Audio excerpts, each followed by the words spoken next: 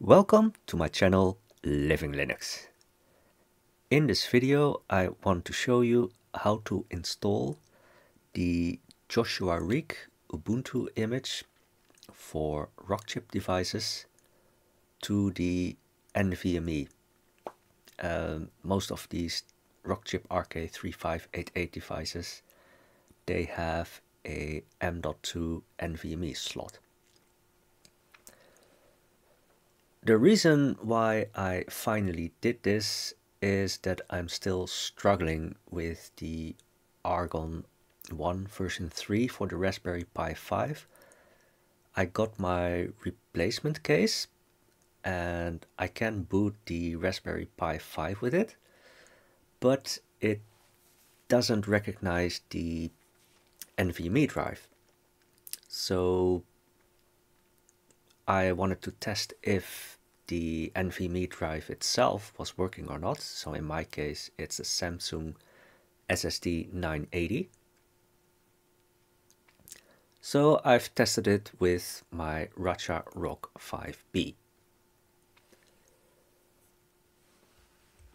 Now here we have the GitHub page from Joshua Riek and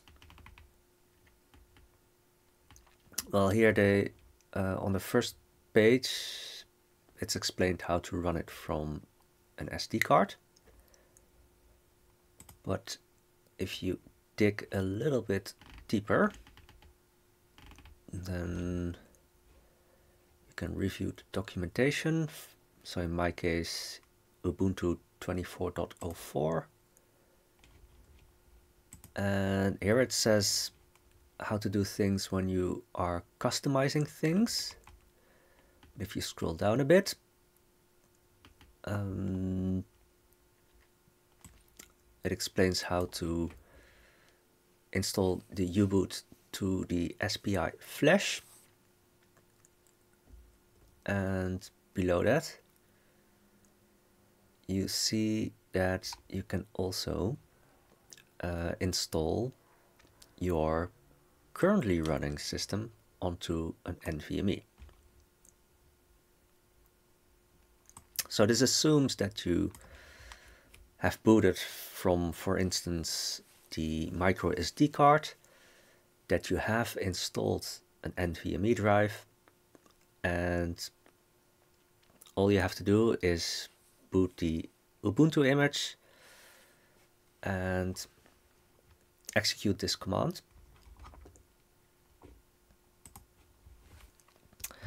So here you can see that actually I'm only running on the NVMe drive now, not running from microSD.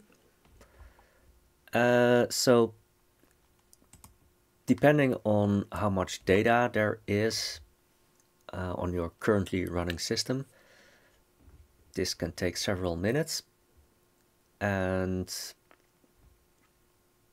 once the copying to the NVMe drive is done, then you have to install U-boot to uh, oh sorry that's not uh, yeah this one. Install U-boot to the SPI flash.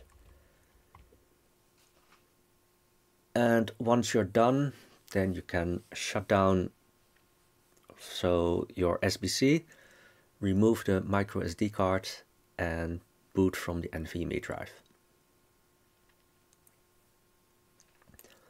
and with the U-boot on the SPI flash you can still boot other images from your micro SD card.